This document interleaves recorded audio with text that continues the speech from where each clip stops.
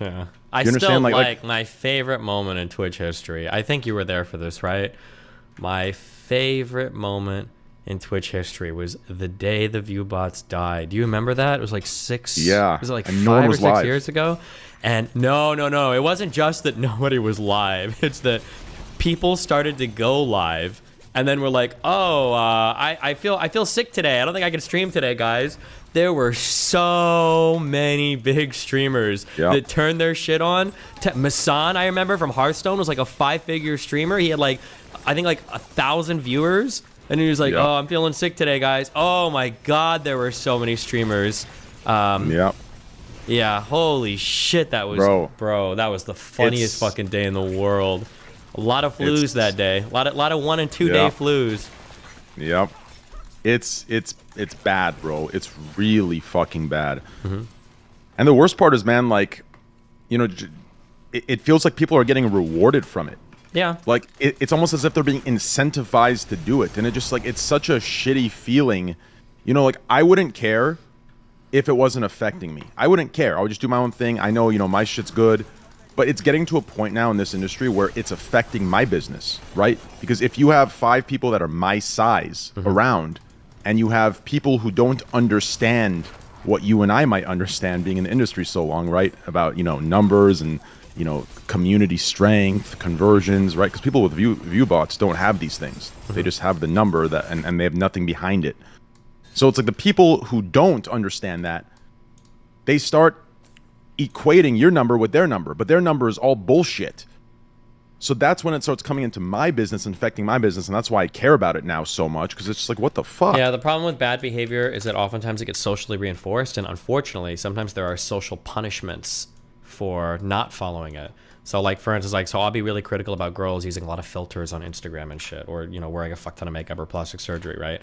Um, however, it's easy for me to be critical of that, but if girls don't do that, um, oftentimes you get a lot of negative feedback because you're not doing what everybody else is. So yeah, there'll be like these social reinforcements that kind of encourage everybody yeah. to do the shitty behavior. Because like, do you want to be the one person not viewbotting and be the loser with like the low audience and shit? Um, yeah, it just it's yeah, it sucks. Yeah, that argument, that that last part you just said, you want to be the loser that's not. Yeah. I feel that because I'm sitting there, right? Like for example, me, right? You know, when I'm sitting there with 12 to 14k viewers on Kick, like I know, I know deep down I'm one of the two largest creators on the platform, right? Like I know it. But then when I, you know, go outside of myself and I look at the sidebar and it looks like I'm the 20th largest creator, yeah, it does kind of feel like shit knowing that I grind and I put in the work and I have a real 14K versus everyone else's fake 30K, right? Mm-hmm. But the people that I see everyone's going after, I'm telling you, they are normal people and they're clumping them up with the actual extremists and the hateful people. Does that make any sense? Yeah, no, this conversation can go for a lot longer, but I feel bad because I know you want your tacos and they're closing soon. But like, I I know I understand what you're saying. I think we have like some like minor disagreements, and it would be interesting to flesh them out. But I don't want you to not have your tacos. well, thank you for being considerate. Yeah, we'll definitely talk again. I mean, we, we keep running each, running into each other and having these conversations, so I'm sure we'll do it again. Yeah, I love you guys. Conversations. yeah, thank you, Pixie. It was great talking to you. And uh, Alex, right? That's your name. Yeah, Alex. I'm gonna say straight up, bro. I hope I don't make you. How old are you actually? I'm 26. Okay, perfect. I hope I don't make you uncomfortable. With this, bro. You're you're We're a cute twins. guy. Thank you're you. a cute guy, bro.